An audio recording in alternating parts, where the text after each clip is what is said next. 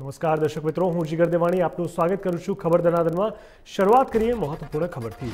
પાલનપુરમાં Vidya Mandir trust સંચાલિત મમતા મંદિર શાળામાં એકસો પચાસથી વધુ દિવ્યાંગ વિદ્યાર્થીઓ અભ્યાસ કરે છે. જેમનામાં સુશુભ શક્તિ ખીલે તેવા ઉમદા હેતુથી મમતા મંદિર શાળામાં અવનવા કાર્યક્રમો કરવામાં આવે છે. રક્ષાબંધન પર્વને ગણતરીના દિવસો બાકી રહ્યા છે ત્યારે મમતા મંદિરની પાંત્રીસ ઉપરાંતની દિવ્યાંગ વિદ્યાર્થીનીઓએ શાળામાં રાખડી બનાવી તેનું વેચાણ કરવામાં આવે છે. અત્યાર સુધીમાં બાળકો બે હજાર ઉપરાંતની રાખડી બનાવી વેચાણ શરૂ કર્યું છે. તેમજ આ રાખડીની ખરીદીમાંથી જે પણ આવક થશે તે દિવ્યાંગ બાળકોના વિકાસ પાછળ વાપરવામાં આવશે. જનતાની સુરક્ષા માટે પોલીસ દ્વારા એક એપ્લિકેશનનું લોન્ચ કરવામાં આવ્યું છે, જેમાં તમે તમારા ઘરે અથવા ગમે ત્યાંથી એફઆઈઆર નોંધાવી શકો છો.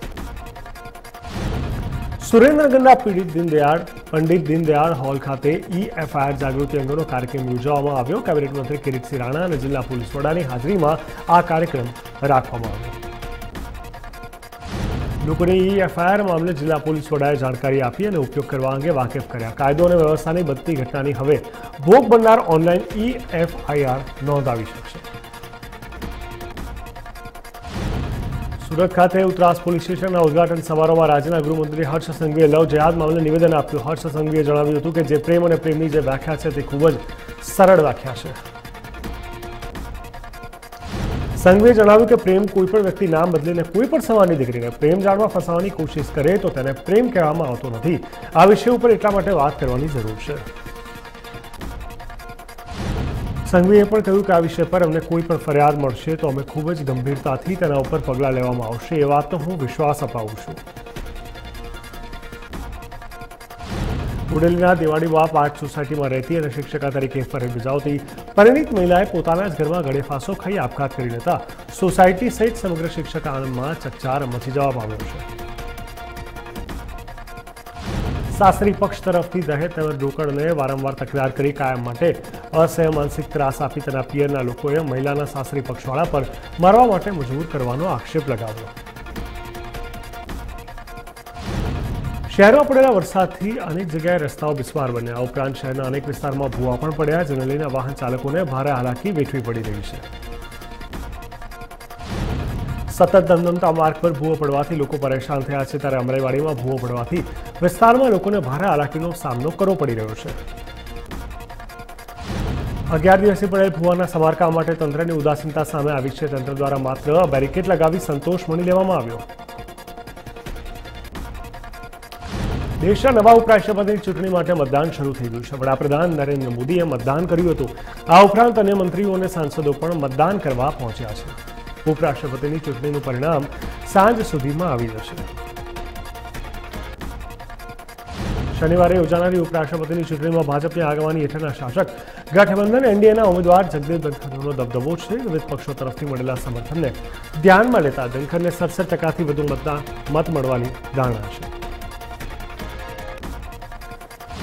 કોંગ્રેસના વિપક્ષી ઉમેદવાર માર્ગારેટ આલ્વા સાથે સમગ્ર વિપક્ષ એકત્ર થઈ શક્યું નથી. જ્યારે તૃણમૂલ કોંગ્રેસ ચૂંટણીથી દૂર રહી છે, ત્યારે BSF YSRCP BJD Telugu Desam જેવા પક્ષો ધનખરના સમર્થનમાં ઊભા છે.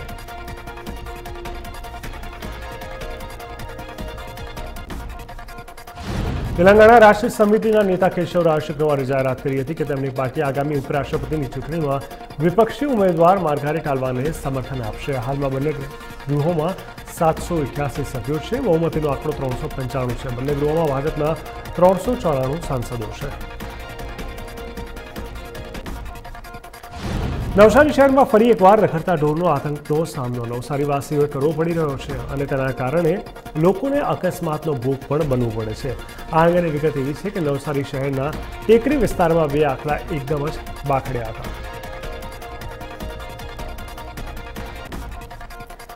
મુખ્ય માર્ગ પર આ બંને બાખડતા હોવાના કારણે લોકોમાં ભયનો માહોલ જોવા મળ્યો હતો.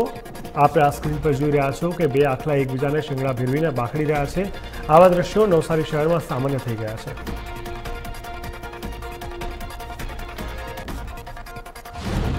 રખડતા ઢોર અને આ રીતે રસ્તા વચ્ચે બાખડતા રખડતા ઢોર મામલે અનેકવાર પાલિકામાં લેખિત અને મૌખિક રજૂઆત કરવા છતાં પણ આવા રખડતા ઢોરને પકડીને ડબ્બે પૂરવાની કાર્યવાહી તંત્ર દ્વારા કરવામાં આવી રહી નથી. ત્યારે શહેરના લોકોમાં એવો ગણગણાટ સાંભળવા મળી રહ્યો છે કે નિર્ભર તંત્ર આવા રખડતા ઢોરને કારણે કોઈ વ્યક્તિનો જીવ જાય તેની રાહ જોઈને બેઠું લાગે છે. મુંબઈ ક્રાઇમ બ્રાન્ચની ટીમ દ્વારા સુરત શહેરના રાંદેર વિસ્તારમાંથી દાઉદ ગેંગના કહેવાતા છોટા શકીલના પાંચ સાગરીતોને ઝડપી પાડ્યા છે. ખંડણી કેસમાં મુંબઈ ક્રાઇમ બ્રાન્ચની ટીમની તપાસ હેઠળ રહેલા પૈકી સુરતના આરિફ બેગ મિર્ઝાનો એક આડત્રીસ સેકન્ડનો ઓડિયો વાયરલ થયો છે, જેમાં તે છોટા શકીલ સાથેના સંબંધોનો સ્વીકાર કરે છે.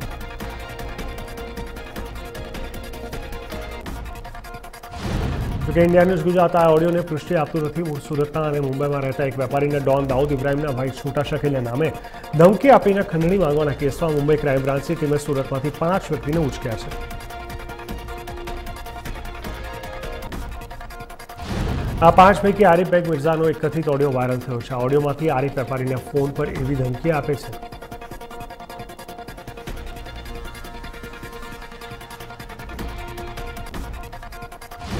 સુરત શહેરના વડોદરા સત્તુ ચાર રસ્તા પાસે મહાનગરપાલિકાના ઢોર વિભાગના કર્મચારીઓ પર હુમલો કરીને માલધારીઓ તેમના ઢોર છોડાવી ગયા હતા.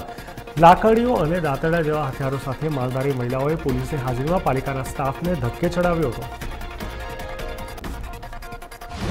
રસ્તા પર રખડતા ઢોર પકડવા ગયેલા પાલિકાના ઢોર વિભાગના કર્મચારીઓ પર પોલીસ અને એસઆરપી જવાનોની હાજરીમાં થયેલા હુમલાનો મામલો આખરે ગોડોદરા પોલીસમાં પહોંચ્યો છે. મોડી રાત્રે પાલિકાના અધિકારીઓ દ્વારા આ મામલે માલધારીઓ વિરુદ્ધ ફરિયાદ નોંધવામાં આવી છે. સુરતના ઉદ્દા ખરવાનગર બ્રિજને રિપેરિંગ માટે એક માસ સુધી બંધ કરવામાં આવ્યો હતો. બ્રિજ રિપેર થઈ ગયા બાદ હવે તેને ખુલ્લો મૂકવામાં આવ્યો છે. જેના કારણે વિસ્તારમાં થતી ટ્રાફિક જામની સમસ્યામાંથી લોકોને મહદ અંશે રાહત મળશે. છેલ્લા એક મહિનાથી ઉધનાથી ખરવણ નજીક જંકશનનો બ્રિજ બંધ હોવાને કારણે સુરત શહેરના તેમજ ઉધના રેલવે સ્ટેશન તરફના માર્ગ પર વાહન ચાલકોને ભારે હાલાકીનો સામનો કરવાનો વખત આવ્યો હતો. જોકે બ્રિજ રિપેર થઈ જતા હવે તંત્રએ પણ રાહતનો દમ લીધો છે.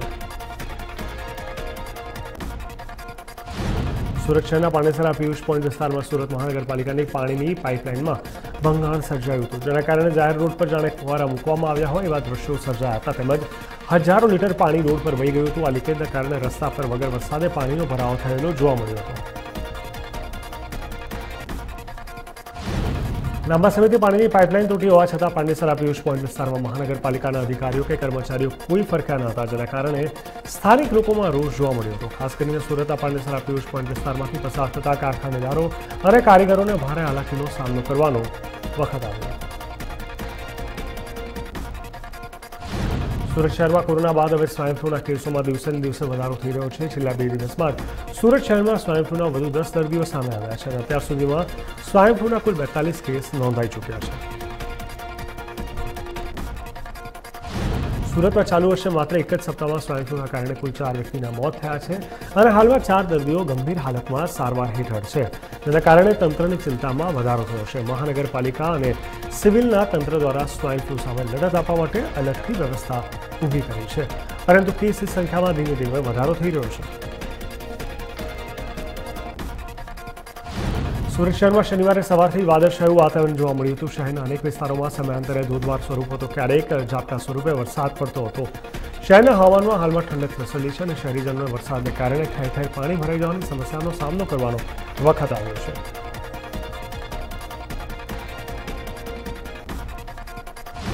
સુરત શહેર સહિત સમગ્ર દક્ષિણ ગુજરાતમાં આગામી ચાર પાંચ દિવસ સુધી ભારેથી અતિભારે વરસાદની આગાહી હવામાન વિભાગ દ્વારા કરવામાં આવી છે, જેના કારણે વહીવટીતંત્રએ પણ તૈયારીઓ શરૂ કરી છે. ખાસ કરીને એનડીઆરએફની ટીમોને સતર્ક રહેવા માટે જણાવવામાં આવ્યું છે. તેમજ જો ભારે વરસાદ પડે, તો લોકોને રેસ્ક્યુ કરીને સલામત સ્થળે ખસેડવા માટેની તૈયારી પણ તંત્ર દ્વારા કરવામાં આવી છે.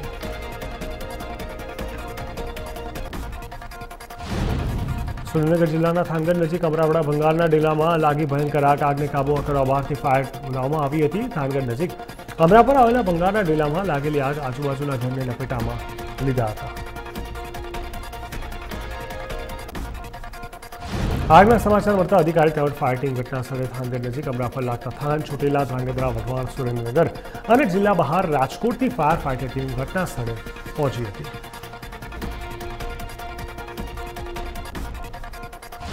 સુરેન્દ્રનગર જિલ્લામાં અવિરત વરસાદને પગલે ડેમોમાં નવા નીરની આવક ઓવરફ્લો થવાની શક્યતા છે સુરેન્દ્રનગરની જીવાદોરી ગણાતો ધોળીજરા ડેમમાં પાણી આવક વધતા સોળ પોઈન્ટ નેવું ફૂટે સપાટી પહોંચ્યું. ઓવરફ્લો થવાને માત્ર ત્રણ ફૂટ બાકી છે.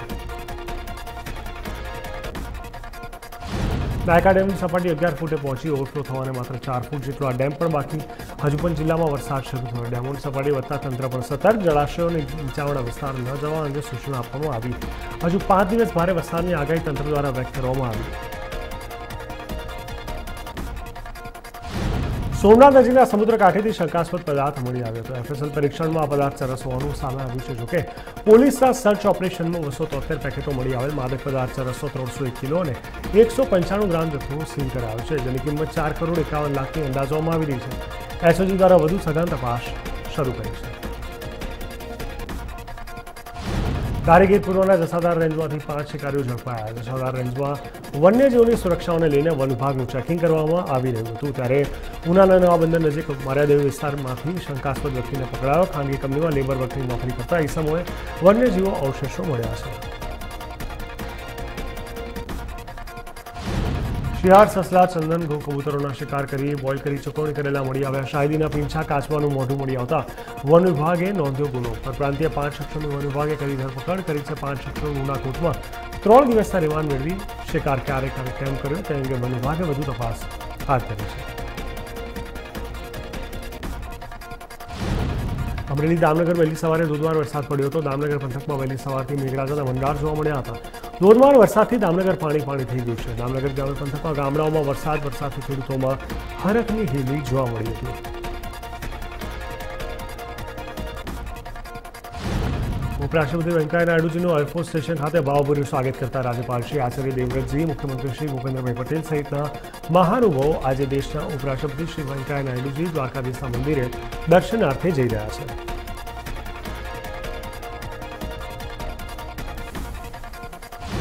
ત્યારે તેઓએ પોતાની યાત્રા દરમિયાન જામનગર એરફોર્સ સ્ટેશન ખાતે ટૂંકું રોકાણ કર્યું હતું, જ્યાં તેમણે રાજ્યપાલ શ્રી આચાર્ય દેવવ્રતજી, મુખ્યમંત્રી ભૂપેન્દ્રભાઈ પટેલ શિક્ષણ મંત્રી જીતુભાઈ વાઘાણી, મેયર બિનાબેન કોઠારી સહિતના મહાનુભાવોએ આવકારી ઉષ્માપૂર્ણ સ્વાગત અને અભિવાદન કર્યું હતું.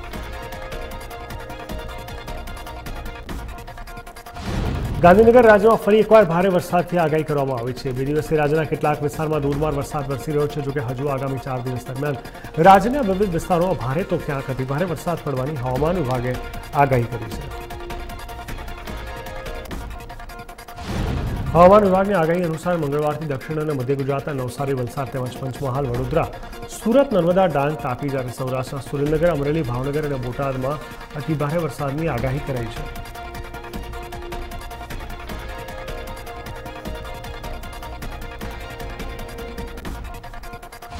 રાજકોટ જિલ્લાના અનેક વિસ્તારોમાં વહેલી સવારથી વરસાદ શરૂ થયો છે. જેતપુર, ગોંડલ, ધોરાજી અને જામકંડોળા વિસ્તારમાં વરસાદ નોંધાયો હતો. જેતપુરમાં બે કલાકમાં અડધોથી પોણો ઇંચ વરસાદ પડ્યો હતો.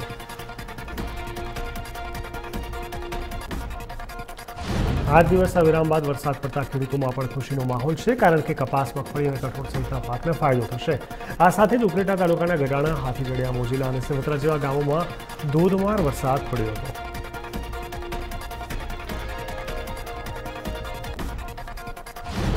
મોડાસામાં મહિલાઓના સર્વાંગી વિકાસ કરતી એકમાત્ર સંસ્થા, ભગીની સેવા સમાજ મોડાસા, જે ઓગણીસો સાહીઠથી કાર્યરત સંસ્થા છે. ભગીની સેવા સમાજ મોડાસા દ્વારા હિન્દુ ધર્મના ગણાતા પવિત્ર શ્રાવણ માસમાં ઉપવાસને લગતી ફરાળી વાનગી સ્પર્ધાનું આયોજન કરવામાં આવ્યું હતું. જેમાં મહિલાઓએ ઉત્સાહભેર વિવિધ ફરાળી વાનગીઓ બનાવી વાનગી સ્પર્ધામાં ભાગ લીધો હતો. આ ફરાળી વાનગી સ્પર્ધાના નિર્ણાયક તરીકે મધુબેન જાની અને સ્નેહલતાબેન ઉપસ્થિત રહ્યા હતા. વકીલી સેવા સમાન મોડાસા દ્વારા આયોજિત ફરાળી વાનગી સ્પર્ધામાં પ્રથમ ક્રમાંક સુરતી ઊંધિયું, મીનાક્ષીબેન ગાંધી, દ્વિતીય ક્રમાંક દહીવડા રક્ષાબેન શેઠ અને તૃતીય ક્રમાંક પૈકી સીતાબેન મોદી અને ફરાળી પાત્રા ભાવનાબેન ગાંધીને ઇનામ આપી પ્રોત્સાહિત કરવામાં આવ્યા હતા. વરસાદના પાણીની લીધે વિસર્ગરમાં બની દુર્ઘટના કાસા ચાર રસ્તા નજીક ખુલ્લી ગટર લાઇનમાં બાળકી ખાબકી હતી. સાયકલ લઈ જતી બાળકી ખુલ્લી ગટરમાં ખાબકી હતી. વરસાદના પાણીમાં બાળકીએ સાયકલ પરથી કાબુ ગુમાવતા દુર્ઘટના ઘટી હતી. ડિઝાસ્ટર ટીમ ઘટનાસ્થળે પહોંચી પાણીમાં ગરકાવ, બાળકીની શોધખોળ હાથ ધરી હતી. બાળકીને બચાવવા તંત્રએ કલાકો સુધી ભારે જહેમત ઉઠાવી પડી હતી. ભારે જહેમત બાદ ગટરમાંથી બેભાન અવસ્થામાં બાળકી મળી આવી હતી.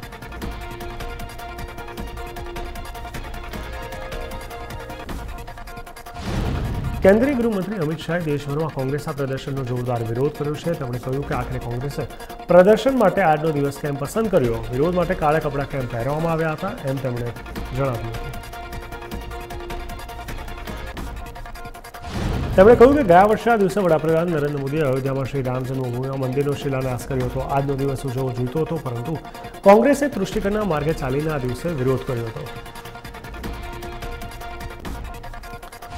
અમિત શાહે દિવસે કાળા કપડામાં કોંગ્રેસના પ્રદર્શન પર સવાલો ઉઠાવ્યા હતા. તેમણે કહ્યું કે કોંગ્રેસ સૌથી લાંબો સમય સત્તામાં હતી પરંતુ તેણે રામ મંદિર વિવાદનો ઉકેલ લાવી શકી નથી. આ સાથે વડાપ્રધાન મોદીએ આ દિવસે અયોધ્યામાં રામ મંદિરનો શિલાન્યાસ કરીને પાંચસો વર્ષ જૂના વિવાદનો અંત લાવ્યા હતા. અમિત શાહે કહ્યું કે આટલી બધી જગ્યાએ હાર્યા પછી પણ તે તૃષ્ટિકરણ નથી છોડી રહ્યા. તેમણે કહ્યું કે હું માનું છું કે આ પ્રદર્શન દ્વારા કોંગ્રેસે ગુપ્ત રીતે પોતાના તૃષ્ટિકરણના એજન્ડાને આગળ ધપાવ્યો છે. કેન્દ્રીય ગૃહમંત્રીએ કહ્યું કે હું કહેવા માંગુ છું કે તૃષ્ટિકરણની નીતિ ન તો દેશ માટે સારી છે અને ન તો કોંગ્રેસ માટે. ચીન અને તાઇવાન વચ્ચે ચાલી રહેલા તણાવને લઈને આર્મીના ગવર્નર શક્તિકાંત દાસે શુક્રવારે કહ્યું કે તાઇવાન તરફથી ભારત પર કોઈ પ્રતિકૂળ ઘટનાક્રમની શક્યતા નહીવત છે. તેમણે કહ્યું કે દેશની કુલ નિકાસમાં તાઇવાનનો હિસ્સો માત્ર શૂન્ય પોઈન્ટ સાત ટકા છે. પત્રકારો સાથે વાત કરતા દાસે કહ્યું કે તાઇવાન સાથે અમારો વેપાર બહુ ઓછો છે. એટલા માટે ત્યાંની કટોકટીની અસર ભારત પર થવાની કોઈ આશંકા નથી. તેમણે જણાવ્યું કે તાઇવાનમાંથી વિદેશી ડાયરેક્ટ ઇન્વેસ્ટમેન્ટ એફટીઆઈ અને અન્ય માધ્યમો દ્વારા મૂડીનો પ્રવાહ પણ બહુ વધારે નથી.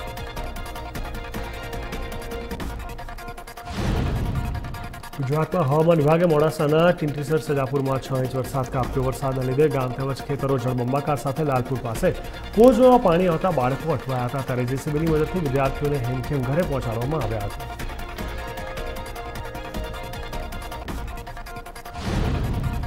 ભારતના સ્ટાર કુસ્તી વિદાર બજરંગ પુનિવાલાએ શુક્રવારે કોમનવેલ્થ ગેમ્સમાં પુરુષોની ફ્રી સ્ટાઇલ પાસઠ કિલોગ્રામ સ્પર્ધાની ફાઇનલમાં કેનેડાના લાયરાન મેકલિનને નવ બેથી હરાવીને પોતાનું ટાઇટલ જાળવી રાખ્યું હતું.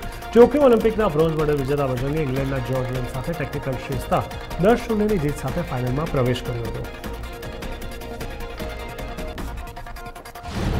ભારતીય મહિલા કુસ્તીબાદ સાક્ષી મલિકે પણ કોમનવેલ્થ ગેમ્સની બાસઠ કિલોગ્રામની ફાઇનલમાં કેનેડાની એના ગોન્ટિસ કેલેઝાને હરાવીને ગોલ્ડ મેડલ જીત્યો હતો. કોમનવેલ્થ ગેમ્સમાં સાક્ષીનો પહેલો ગોલ્ડ મેડલ છે. અગાઉથી કોમનવેલ્થ ગેમ્સમાં સિલ્વર અને બ્રોન્ઝ મેડલ જીતી ચૂકી છે. સાક્ષીએ ગોન્ઝાલ્વેને હરાવીને ગોલ્ડ મેડલ જીત્યો હતો. સાક્ષી પ્રથમ હાફના અંત સુધી મેચમાં ચાર શૂન્યથી પાછળ હતી, પરંતુ બીજા હાફમાં તેણે શાનદાર વાપસી કરી હતી. સાક્ષીએ પહેલા બે વખત ગોન્ઝાલોને ચાર ચારની બરાબરી પણ લઈ લીધી અને પછી તેના પ્રતિસ્પર્ધીને પછડાટ આપીને તેનો પ્રથમ કોમનવેલ્થ ગેમ્સ ગોલ્ડ જીત્યો.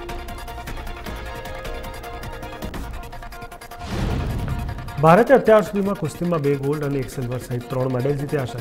આ પહેલા અંશુ માલિકા મહિલાઓની સત્તાવન કિલોગ્રામ સિલ્વર મેડલ જીત્યો હતો, જ્યારે બજરંગ પુનિયાને પાસઠ કિલોગ્રામ મેન્સ કેટેગરીમાં ગોલ્ડ મેડલ જીત્યો હતો. ટોક્યો ઓલિમ્પિક બે હજાર વીસના બ્રોન્ઝ મેડલ વિજેતા બજરંગો મેચની શરૂઆતથી જ મિકેનિકલ પર દબાણ બનાવવાનું શરૂ કરી દીધું હતું.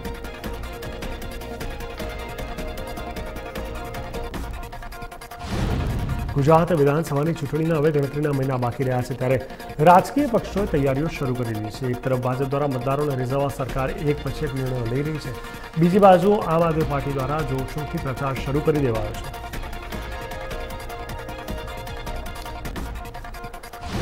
રાજ્યની દસ બેઠક ઉપર ઉમેદવારો પણ જાહેર કરી રહ્યા છે. ત્યારે કોંગ્રેસમાં કકડાટ વધી રહ્યો છે. સતત ચાલીસ વર્ષ કોંગ્રેસની સાથે રહેલા નેતાઓ પક્ષ છોડીને ભાજપમાં જોડાઈ રહ્યા છે. હવે કોંગ્રેસે ચૂંટણી માટે તૈયારી શરૂ કરી છે.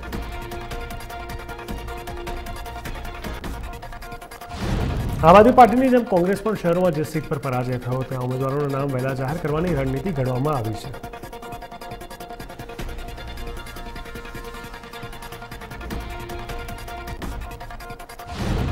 ભાવનગરમાં આજે શિક્ષણ મંત્રી જીતુ વાઘાણીએ કુતાવળ પત્રકાર પરિષદ બોલાવીને આવતા મહિને યોજાનારા વિવિધ લોકાર્પણના કાર્યક્રમ તેમજ આગામી દિવસોમાં નીકળનારી તિરંગી યાત્રાની વિગતો જાહેર કરી હતી. ભાવનગરના સર્કિટ હાઉસ ખાતે જીતુ વાઘાણીએ ભાજપના કાર્યકરો સાથે પણ બેઠક કરી હતી. આ બેઠકમાં મેયર કીર્તિબેન નાણીદરિયા તેમજ શહેર પ્રમુખ રાજીવ પંડ્યા હાજર રહ્યા હતા. આગામી તેર ઓગસ્ટના રોજ ભાવનગર શહેરમાં વિશાળ તિરંગા યાત્રા કાઢવામાં આવશે તેમ જીતુ વાઘાણીએ જણાવ્યું હતું. સાથે સાથે તેમણે આવતા મહિને યોજાનારા કાર્યક્રમોની જાહેરાત પણ આજે કરી હતી. તેમણે જણાવ્યું હતું કે આગામી ત્રણ સપ્ટેમ્બરના દિવસે જાણીતા ગાયક, કીર્તિદાન ગઢવીનો સન્માન સમારોહ જે મુખ્યમંત્રીની હાજરીમાં યોજાશે.